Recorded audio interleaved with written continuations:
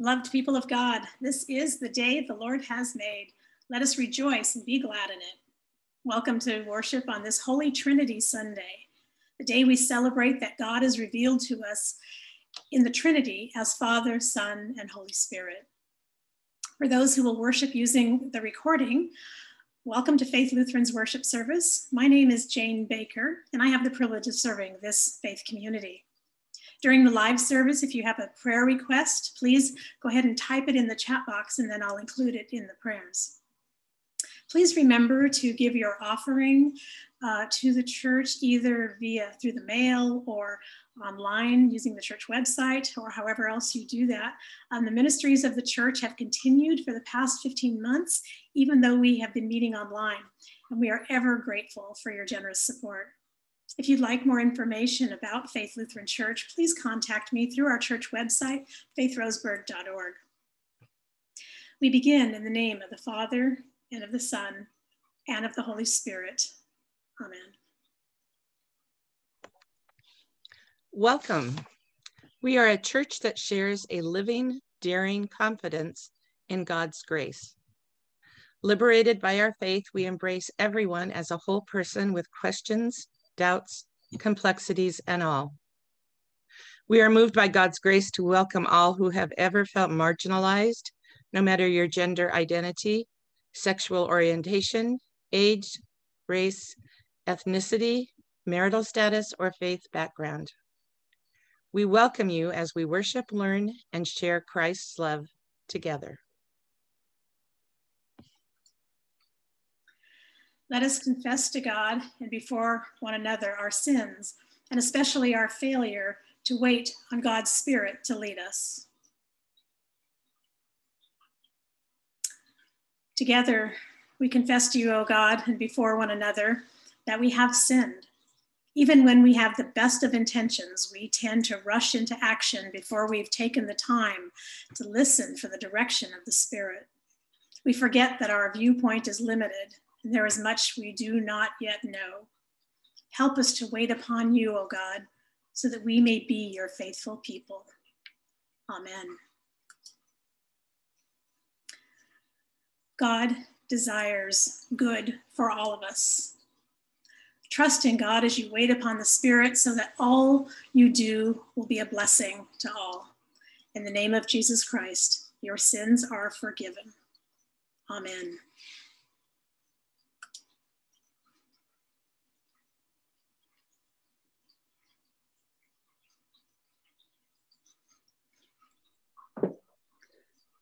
The first reading is Psalm 29 from the English Standard Version of the Bible. Ascribe to the Lord, O heavenly beings. Ascribe to the Lord glory and strength. Ascribe to the Lord the glory due his name. Worship the Lord in the splendor of holiness.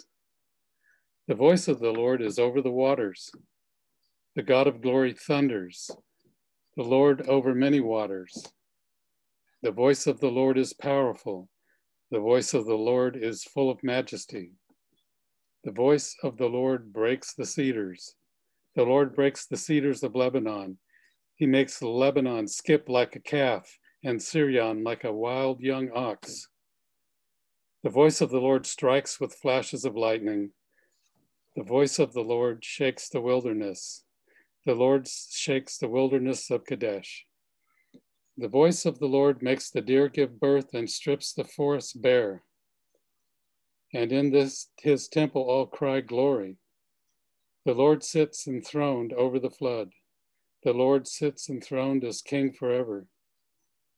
May the Lord give strength to his people, and may the Lord bless his people with peace. Word of God, word of life.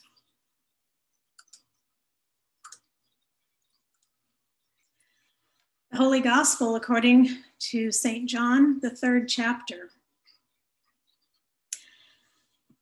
Now the, there was a Pharisee named Nicodemus, a leader of the Jews, and he came to Jesus by night and said to him, Rabbi, we know that you are a teacher who has come from God, for no one can do these signs that you do apart from the presence of God. Jesus answered him, Very truly, I tell you, no one can see the kingdom of God without being born from above. Nicodemus said to him, How can anyone be born after having grown old? Can one enter a second time into the mother's womb and be born? And Jesus answered, Very truly, I tell you, no one can enter the spirit of uh, enter the kingdom of God without being born of water and spirit. What is born of the flesh is flesh. What is born of the spirit his spirit. Do not be astonished that I have said these things to you. You must be born from above.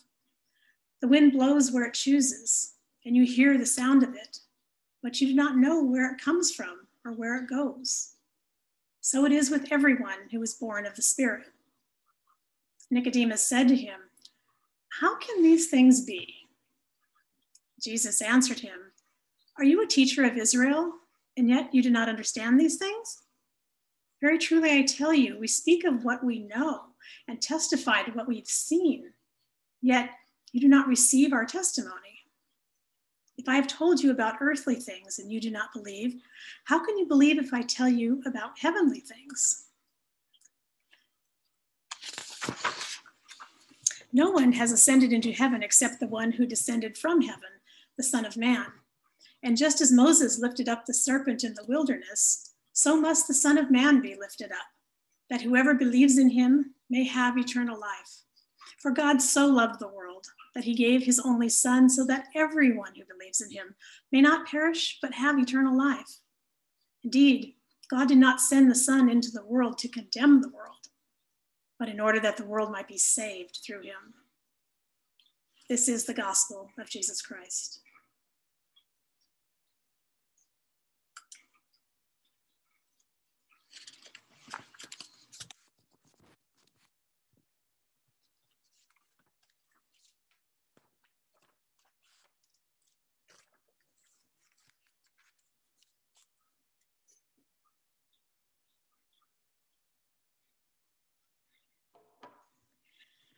Grace to you and peace from the triune God. Amen. Dear Nicodemus, you are one of my favorite people in God's story. And I don't claim that lightly because you're a Pharisee. And today, being called a Pharisee is not a compliment. So let's just say that, well, you're my favorite Pharisee. I think you were probably just a part time Pharisee Though I don't know much about you, but it seems to me that you have a good heart and a courageous spirit. Can I call you Nick? Well, since you're a religious leader, you must be a wise man. Well, guess what? I too am a religious leader. And once in a while, someone, someone calls me a wise woman every now and then. Are you shocked? Yes, I said woman. Who would have believed are religious leaders in the 21st century. It's true. You know, you can now have a vagina and be a rabbi, or be a priest, or be a pastor in many traditions. Well, Rome hasn't quite caught up with the times yet, but then you know all about dealing with the Romans, so you probably expect that. Sorry if I caused you to faint there. I am writing you today nearly 2,000 years after you had that conversation with Jesus. I'm a Christian, which means that I'm a follower of Jesus. I understand that that's a dangerous thing for you to talk with Jesus. So, how did you ever ditch the other guys in order, in order to do that? I mean, it's my understanding that Pharisees always show up in a group, whether it was it's to question Jesus or to trap him, you know, or throw a sex worker at his feet just to see what he'd do. But not you. You're different.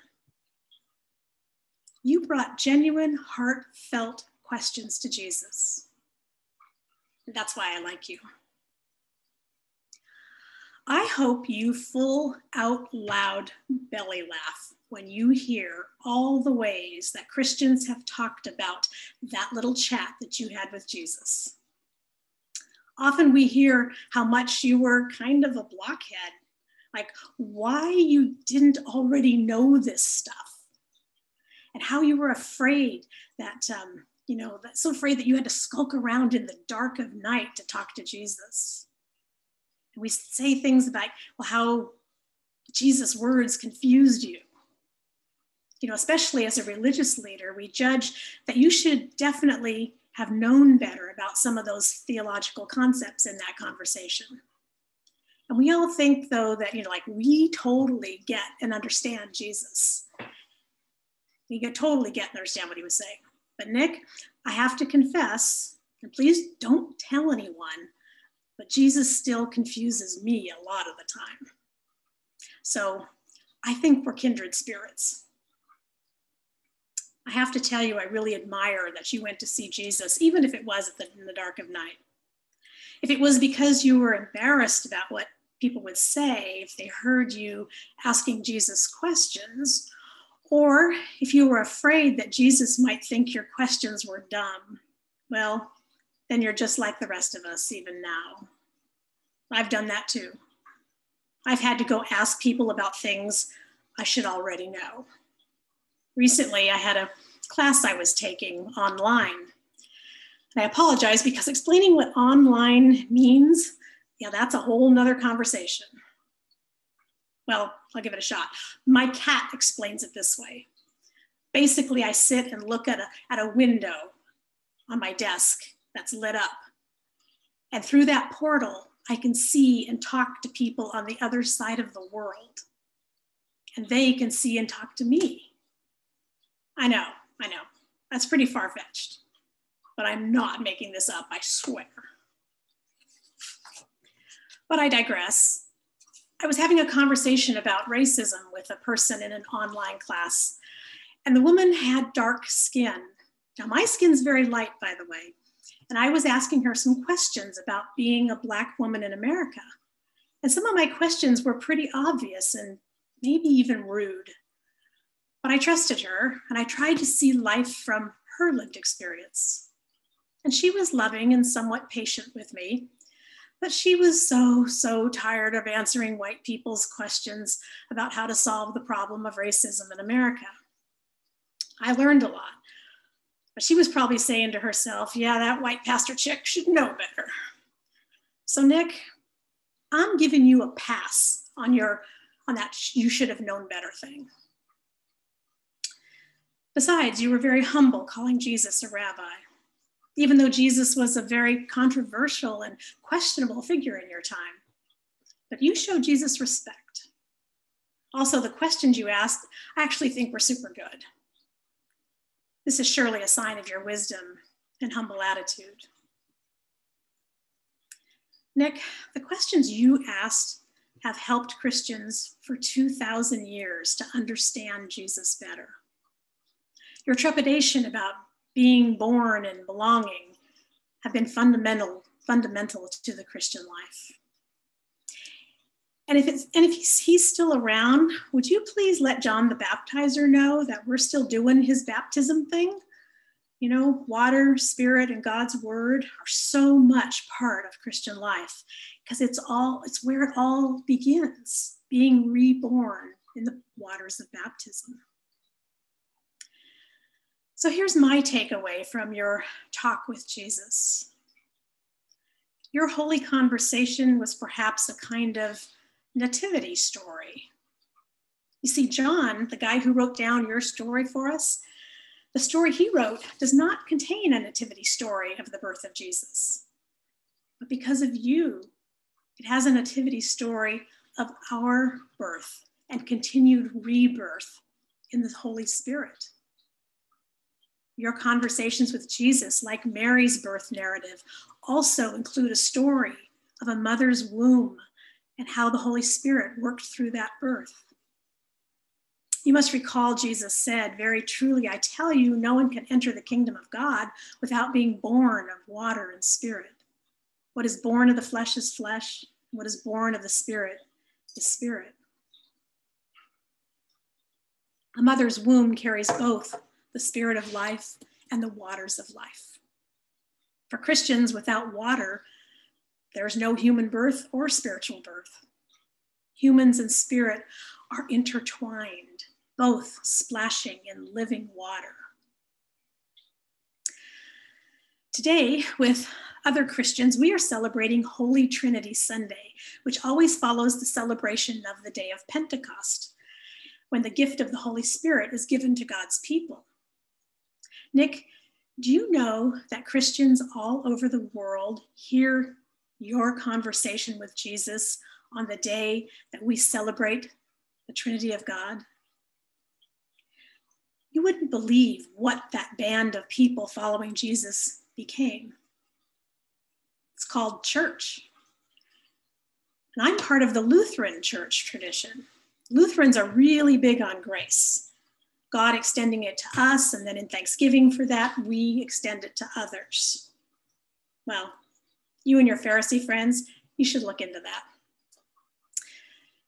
The church has done many good things for God's people, but it's also hurt people too. We're still a work in progress. And so much has happened to the Jewish people, your people. I'm sorry I don't have time to write more about that because there's so, so much I wish I could tell you. I mentioned the Trinity. This is a Christian belief where God is one in three God, Jesus, and the Holy Spirit. I realize that you would definitely think this is nuts. The Trinity is all about the ways that God loves the world. God is the one who loves, the, the Son is the beloved, and the Spirit is the love shared between them. God's love is too big, too immense, even to be described as the love of a single person, but it's more like the love shared among a community, a love shared so deeply that it can't be contained, but it spills out from the Trinity into the whole world, into our lives, and into all of nature. But for Christians, it's how this relational God moves and speaks and dances and manifests of God's self in the world. In many ways, the Trinity is metaphor for how all living things, God, people, trees, rivers, oceans, animals coexist together, being different and yet being part of the same. Nick, you remember Psalm 29, right? We all need one another to exist. We are this big, wild web of relationship and belonging so, how can we understand God the Creator if we don't understand God's connection to nature? How can we understand Jesus if we don't understand loving each other? Likewise, the Spirit cannot be understood without life giving water. Nick, this letter is getting longer than I expected. So I'm going to have to bring it to a close. But before I do, I want to mention something Jesus said to you at the end of your conversation, because it became one of the most well known sayings of Jesus. For God so loved the world that he gave his only Son, so that everyone who believes in him may not perish, but have eternal life. These words have been used over the centuries to caution people to turn away from their sins so they may enjoy eternal life with the triune God. And sadly, these words have been used to scare people to Jesus. Nick, you know that isn't how Jesus rolls. Okay, he was a little snarky with you, but you know, Jesus still loved you. And he still loved you as you tried to grow in knowledge and love and hope. And we know you know he loved you because you helped Joseph of Arimathea bury Jesus after he was killed. It's such a shame that many Christians leave off the words that follow that well known verse. These words God did not send the Son into the world to condemn the world, but in order that the world might be saved through him. Saved, not condemned. I think it's time for us to understand that the eternal life promised by Jesus is connected to the life we live now. The eternal life promised by Jesus that comes through the presence of the Spirit can only be understood if it's fully saturated in the waters of our world and the waters of baptism and the water of new life from the wombs of women. Nick, I know you're an expert on the book of Genesis. Remember at creation, it says the Spirit of God hovered over the life giving and life sustaining waters. Why am I saying that? Because, my friend, our world is running out of water right now.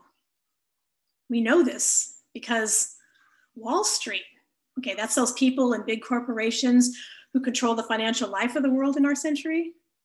Well, they are now investing in, you guessed it, water. We're in a grim situation and we're scared. Our rivers are drying, our ice caps are melting, and we'll be burning soon. I believe that this situation is because the Spirit is sad and disappointed in our stewardship of the earth. Jesus said to you and to us, the Spirit blows where it chooses. The Spirit blows where it chooses.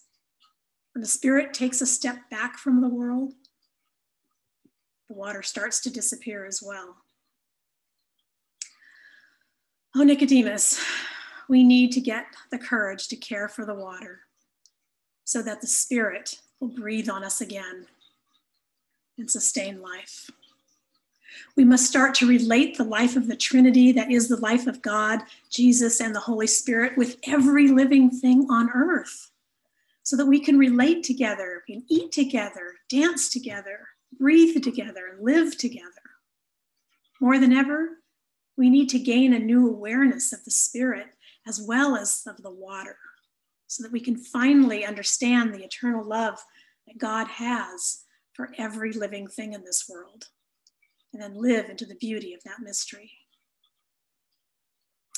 Thank you, Nicodemus, for having the courage to seek Jesus on that starry night so long ago.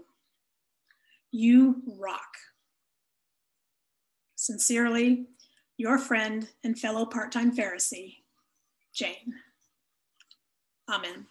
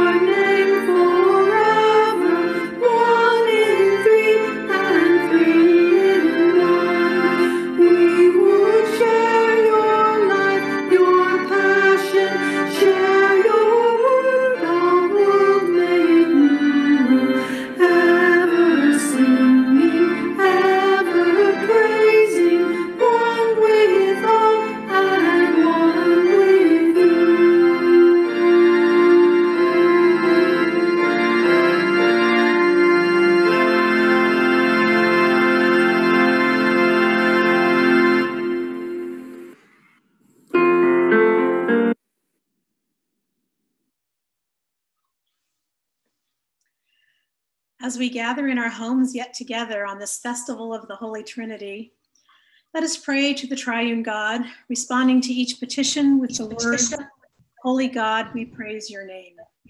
The readers will say, and, and together we pray, and the congregation responses, Holy God, we praise your name.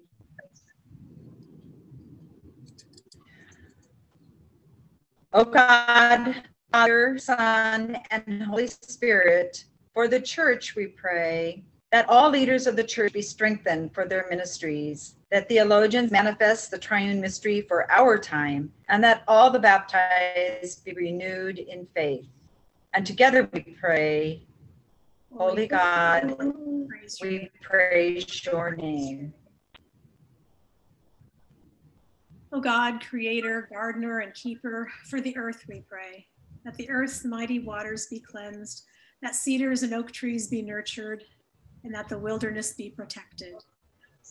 And together we pray, Holy God, we praise your name. Amen. O God, fortress, monarch, and protector, for the nations we pray, that the leaders of nations enact justice for all their people, that prejudice against those of different nationality or skin color or language cease, and that democracy flourish around the globe. And together we pray, Holy God, We praise, we praise your name.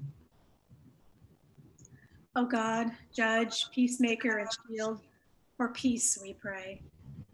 That all people shun the use of violence, and that on this Memorial Day weekend, in remembrance of all the soldiers and civilians who have died in warfare, humankind maintain peace between nations on our streets and in our homes.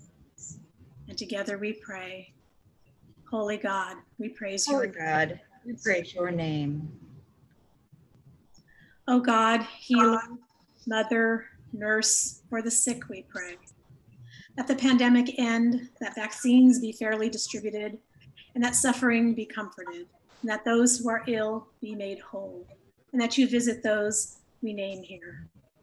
Mark A, Amanda B, Grady B, Sue C, Karen F, Shauna H, M. J, Don M, Phil N, Rachel P, Sue P, Carol Q, Nick R, Ken R, Stephanie R, Sarah and family, Sunny S, Jim T, Skip T, Sherry W, Pastor Shelley, and those whose names we call out to you now.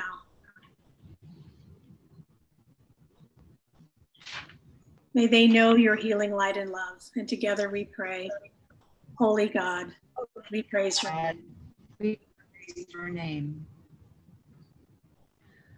O God, wisdom. We pray for those affected by gun violence in our nation. Comfort all who have lost loved ones and all who have been injured. Give lawmakers wisdom and courage to make sensible laws to protect children and other innocents from this devastating violence. And together we pray, Holy God, we praise your name.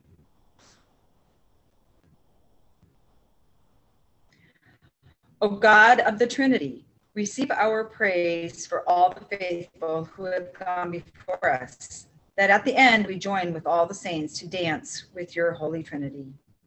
And together we pray, Holy God, we praise your name.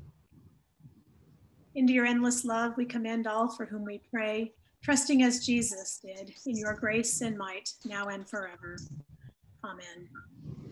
The peace of Christ be with you all. Let us unmute ourselves and share God's Also with each with you. Little piece. Hey, good morning. Morning, everybody. Peace to all. Peace be Good with you. Everybody. Peace to everyone from Sacramento. peace everyone. Oh, look at you, Jeff, with that tie. And love. Happy birthday, Ernie. Mr. Hill this morning. Thank you, Jeff. To you all. So, and peace be with all of you. Also with you. Also with you. Thank you. Thank you. The Lord be with you. And also with you. Lift up your hearts. We lift We lift them to the Lord. Let us give thanks to the Lord our God. It is right to give him thanks and praise.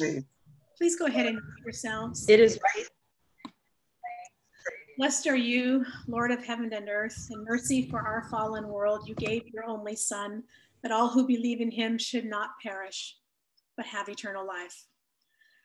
We give you thanks for the salvation you have prepared for us through Jesus Christ.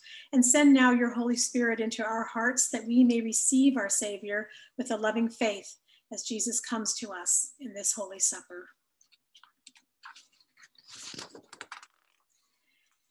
In the night in which he was betrayed, Jesus gathered with his friends, those who loved him and those who would betray him. And as they ate, Jesus took bread and he gave thanks and he broke it. And he gave it to his disciples, saying, Take and eat. This is my body, and it's given for you. And do this, remember me. Again, after supper, he took the cup. He gave thanks, and he gave it for all to drink, saying, This cup is the new covenant in my blood, and it's shed for you, and it's shed for all people for the forgiveness of sin. Do this, remember me. Holy God, we long for your spirit. Come among us and bless this meal. May your word take flesh in us. Awaken your people and fill us with your light and bring the gift of peace on earth. All praise and glory are yours, Holy One of Israel, Word of God incarnate, power of the Most High, one God, now and forever. Amen. Please go ahead and unmute yourselves as gathered into the spirit as we pray here on Zoom. It's messy to pray on unison on Zoom, but that's just how we roll. We trust that God always meets us in our midst. Our Father in heaven, hallowed be your name. Your kingdom, kingdom come. your Your will will be done on on earth. earth as it is in heaven. Give Give us us this day our daily bread. And forgive us our sins as we forgive those who sin against us. Save us from the time of trial. and Deliver us from evil. For the For the The kingdom, kingdom and the power and the glory are yours, now and forever. Amen. Go ahead and mute yourself. Beloveds, even as we are communing in our homes, we are still together. Here is bread, here is wine, here is Jesus. Please share the body and blood of Christ with the ones you are with using these words. This is the body of Christ given for you. This is the blood of Christ shed for you. If you are alone, please commune with me now. This is the body of Christ given for you. This is the body of Christ given. This is you. the blood of Christ shed for you. This is the blood of Christ shed for you.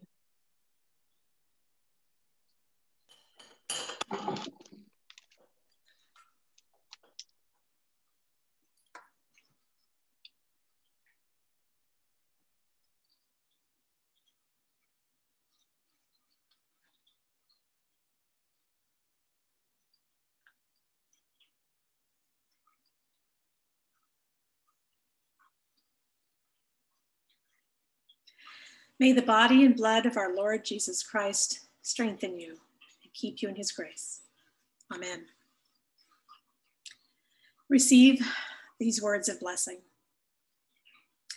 As we go from this place of worship, help us remember that this beautiful universe is so diverse and yet is also intertwined and connected. May we live the idea that Trinity is not only a metaphor for how God relates to us, but it's a metaphor for how all living things are to coexist together. In the name of the Father, and of the Son, and of the Holy Spirit. Amen. Some announcements this morning. Uh, just a reminder that you can always worship with family and friends simply by sharing the Zoom link with them. Just paste it into an email and then they can join in as well. The Dwelling in the Word Bible Study uh, meets on Thursdays, and it will meet this Thursday at 11:30 a.m. This Friday is the Lunch and Learn at noon. And since May is Asian American Pacific Islander Awareness Month, we will be watching and discussing the documentary Oregon's Japanese Americans. It focuses on uh, Japanese people in, in uh, Portland and in Hood River. Join us on Zoom. Bring your lunch this Friday at noon, and then and we will share that link again with you later in the week. It was in the Friday email, but we will send it out again to remind you. The transition team is working on a plan so that we can resume meeting in person again soon. Unfortunately, it will not be next Sunday as we had hoped. Know that it's coming, it's coming soon, and we are planning to hold outdoor worship services this summer. Thank you. Thank you for your patience. We're getting there, but there's a lot to do first. So we'll keep you up, uh, up to date on now how that's progressing till we get there. And, and we will. I'm certain we will. Are there other announcements this morning? Sharon, go ahead and unmute yourself. Well, that was a great segue, Pastor. Um, we we are eagerly working towards reopening the church and in-person worship. But before we want to do that, one of some of the tasks we have to do is cleaning up our grounds and uh, the exterior of the building. And so we're looking for help um, with the flower beds, uh, removing cobwebs from the exterior of the building. We have some painting we want to do, just uh, mostly metal posts of the porticos. So if you'd like to help us uh, move towards reopening, um, email me or call me. Uh, my info is in the directory. We'd love to have any and all help, especially, you know, maybe the Fergusons from Colorado and the Townsies who are in, uh, you know, Sacramento. Uh, but we'll take any help we can get. And Barb, Barb and Dean, you guys yeah, can come yeah, back. Them too, yeah. Um, so uh, please give me a call. We we love to have everyone help participate in reopening the, the church. Thank you. Thanks, Sharon. And like I said, there's there's things technologically we have to be working on, and we are working on those things right now. So we're gonna get there. But if you want to help speed this up, volunteer to help. We appreciate it. Any other announcements this morning? Right. Well, go in peace, live God's love in the world. And let me set up some breakout rooms so we can visit with each other.